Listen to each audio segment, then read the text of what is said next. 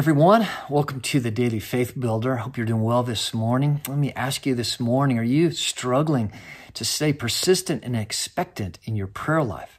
It's kind of a loaded question because we all, uh, if we're honest, we would say that we struggle with that uh, and struggle with our prayer and being consistent and being expectant in our prayer. It's hard to keep praying for things where we don't see breakthrough. But this is where faith comes in. This is also where it is absolutely critical for each of us to have faith friends people in our lives that are encouraging us and pushing us on to stay at it, to stay consistent in prayer and to build our faith. Uh, we need uh, testimonies. That helps us to stay there. And we also need, uh, Jesus used parables, stories to, to, to encourage us, to, to inspire us, to, to, to keep our faith when it comes to our prayer life um, going. I think also for a lot of us, if we have a disappointment, if we had a, a, a prayer request that didn't get answered or we didn't come get the outcome that we thought we desired, is boy, it sets us back. That this is a real test of our faith to see if we're going to continue to press in with expectation uh, and to build our faith.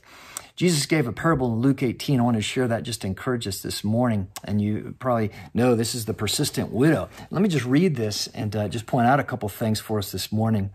Jesus said he told them a parable to the effect that they ought always to pray and not lose heart. In other words, Jesus is telling this parable because he knew the reality that it is it's easy for a prayer life just to kind of dwindle and for it to lose faith and, and expectation and, and pleading and crying before God. Um, and it's easy to lose heart is we lose expectation. We lose that persistence. We lose, and then what happens in that time is we can be tempted to, uh, to uh, really start questioning the goodness of God in those times.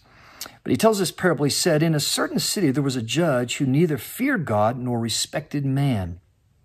And there was a widow in that city who kept coming to him and saying, Give me justice against my adversary.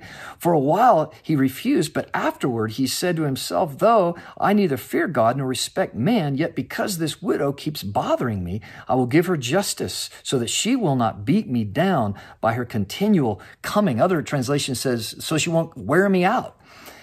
And the Lord said, Hear what the unrighteous judge says. And will not God give justice to his elect who cry to him day and night? Will he delay long over them? I tell you, he will give justice to them speedily. Nevertheless, when the Son of Man comes, will he find faith on earth?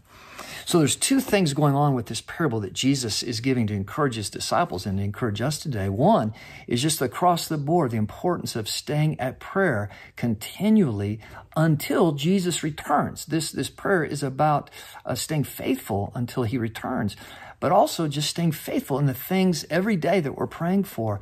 And again, as I said, the only way we can do this is to have people, prayer partners, faith friends, people who, uh, who call us and encourage us, pray with us, and keep us at the task of going and pleading before God. And the, the definition he asks for us is crying before God right? His children he expects to cry before him day and night.